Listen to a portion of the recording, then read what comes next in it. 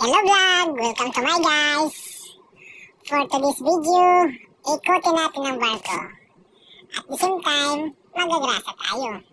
Dahil Sabado ngayon, half day lang ang trabaho. Ayan, medyo malaki ang barko natin na. Ayan guys, so papakita ko lang sa inyo. Ito naman yung makikita nyo sa taas. Yan. Yan yung umiikot yung radar. So bawal tayo dyan umakyat habang umiikot. Sabi nga nila, mababao tayo daw. Ano guys, ikot tayo. Ganito lang yung trabaho dito. Pero hindi naman lahat ng Sabado, half day. Minsan may, ginagawa tayo na emergency. Kaya minsan wala tayong Sabado, wala tayong Linggo. Pero bumabawi naman. Ayan. Dito kami nag didrill. Didrill ng abandoned ship. Ito naman, sa taas, may pinapalambot ako doon sa pinakataas. Sa may chiminea. So hindi ko napapakita sa inyo kasi masyadong mainit doon sa loob, hindi ko rin binidyoan. May video ako pero hindi ko na siya i-upload. Ayan, sa taas sa bridge. Pag akit mo pa dyan, pasok ka gamitin ko dyan, bridge na yan. Ayan ito. Pababa tayo sa baba na. Anong kinaka kinaibahan daw ng barko ng inter-island saka international? Una sa lahat, dito sa international, malalaki ang barko, no? Sa inter-island, uh, maliit. Saka, um, mahirap magtrabaho. Pag maliit ang barko, mahirap magtrabaho, masikip. Pag malaki, medyo maraming trabaho, pero madali lang gawin. Ito naman yung ating mga kabina sa loob. Malinis yan. Mag magagandang kabina dito.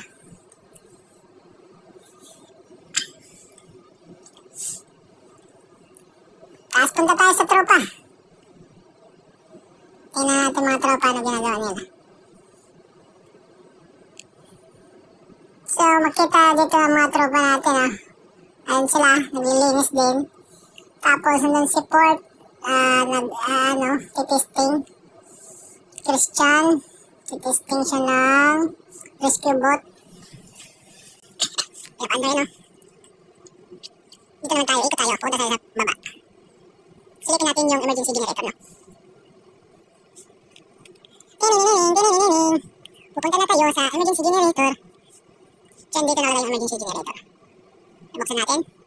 Silipin na natin ng saglit yung loob. Lang. Dahil wala naman tayo dito gagawin, silipin natin. Napakita lang natin sa inyo. Yan ang emergency generator namin. So, labas na tayo. Siyempre, sasarado natin pagkatapos natin pumasok.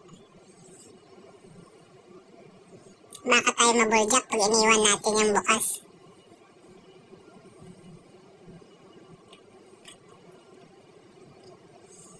Tara, punta tayo sa baba. So, tanker tayo, no? Ito naman, naka-anchorage tayo ngayon. Kaya, o mala, makikita nyo, halos hindi umandar yung barko, no? Ganun tayo, naka-tambay tayo ngayon, nag-aantay tayo ng loading. Ayan, guys. So, mamaya naman, uh, Sabado nights. O kainan lang, wala nang inuman. Wala kasing alak dito sa labas. Meron naman pero hindi tayo nakakabili na. Bawal dito sa amin. So, bababa tayo. Kunin natin yung grasa. Magagrasa tayo ulit. Ayan po. Meron yung ating grasa. Pag-release natin lahat ngayon ng balbula. Ganito lang kami pag Sabado, pero hindi naman lahat ng Sabado ganito. Kasi minsan pag may mga trouble sa makina, mabakwas ng generator, mga tagas, ginagawa natin ah. Yan. Kung makikita nyo, ibang iba yung barko ng tanker sa, ano, halos lahat naman ng tanker dito. Halos makikita nyo mga tubo. Silip tayo sa, ano, dito ang Boson Store. Dito makikita natin yung mga pintura ni Buson.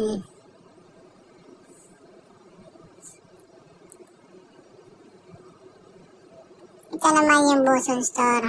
Makikita natin dito yung mga pintura. Kasi dito sa trabaho hindi nauubos. Dito sa barko, I mean, hindi nauubos yung trabaho. Matatapos na lang yung kontrata mo. Yung trabaho, nandyan pa rin. Sinusunod lang ng kalawang barko. Tik-tik sila, yung taga-date department, magtitik-tik. Then, after mag-tik-tik-tikan nila, yung mga kalawang mag-ano na sila. Mag-primer. So, yung primer nila, tatlong, tatlong patong. Maproseso po ang pag-ano dito sa barko. Tsaka yung pintura dito, matibay. Hindi siya yung ginagamit sa pangbahay lang. Dito naman, makikita natin isang tropa oh, nagpipintura siya. So, tinanggal lang yung helmet, nag-helmet siya. Kasi nga, masyadong mainit sa ulo. Ayan yung man- manifold natin. Ayan guys, wala tayo kay Pampi. Ayan si Pampi, nagpipintura. Pero primer pa lang yan. Makakailang ano pa yan. Makakailang ulit pa yan. Tatlong patong.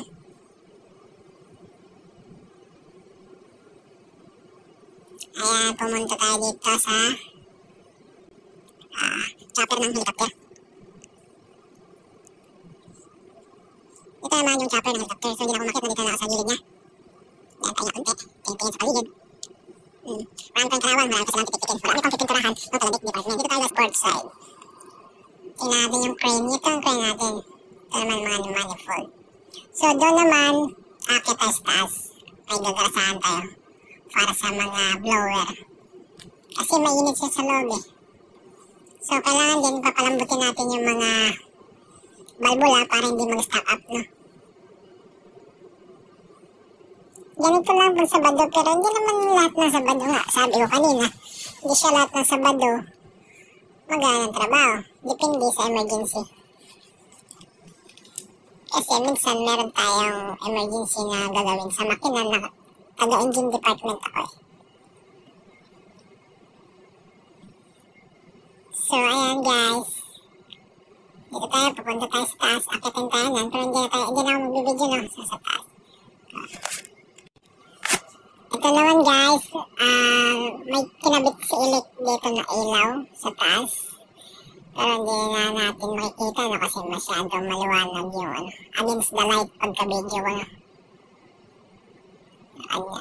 Papakita ko mamaya yung taas. Ito yun sa taas niyan. Dito sa taas niyan. May kinabit siya na ilaw kasi napundi. Bali, nag-replace siya ng panibagong ilaw. Kasi may spare naman tayo dito sa barko eh. And pro ah. Ito lang, parang ano ka lang dito sa barko ay yung maintenance. Electrician, fitter. Yan, kami mga maintenance lang kami dito sa barko. Ayan guys, tanker, no smoking. Eh guys, ba gusto nyo malaman ng tanker, mga idol? Comment naman. Ito naman sa pumulong. Kung makita nyo yung barko, may design. Dito sa pumulong, ah, nira natin to every week. Every Saturday din. Para anong purpose nun?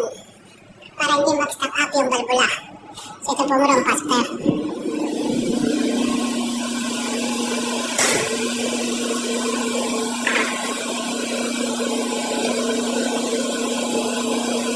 yung ginagarasahan natin. Mga balbula ito. Pero ikutin natin yan. Pabukas, saka pasara. Actually, nakabukas na yan eh.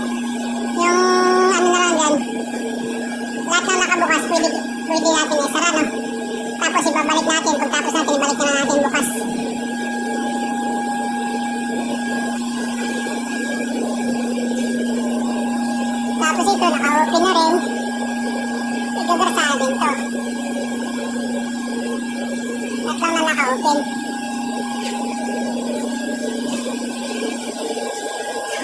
Sige, sige, marami dito. Dito.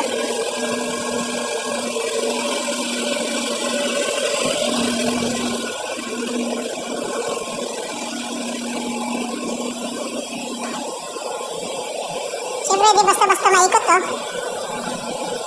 Lagamay ka ng spanner. Yeah transparente may spanner. Dapat malambot siya eh. Para in case of emergency may sunog. Madali buksan, madali sara. Ayun purpose ng marking grasa. Dapat yung ikutin. Ikutin natin to para magrasa natin lahat. Tapos ibalik natin sa bukas. Bubuksan natin mamaya ulit.